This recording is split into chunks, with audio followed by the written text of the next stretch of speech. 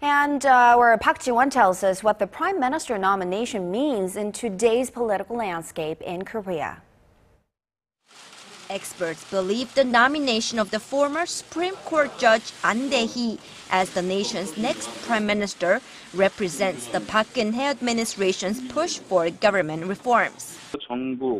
The nomination can be interpreted as the president's strong will towards political and governmental reform in the midst of high public demand for reforms in the area of government bureaucrats and government organization. Yoon said the nominee's upstanding career may have been one of the factors behind his nomination. Ahn was a prosecutor before becoming a Supreme Court judge, and he has led an upright career with an image of integrity and reform mindedness. He added the nomination also signals a much anticipated shakeup in President Park's cabinet. Given Ahn's nomination and the government's will for reforms, it seems highly likely that President Park will choose non bureaucratic politicians and experts outside governmental organizations as heads of ministries.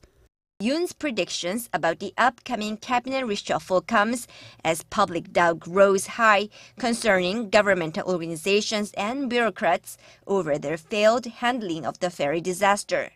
Park Ji-won, Arirang News.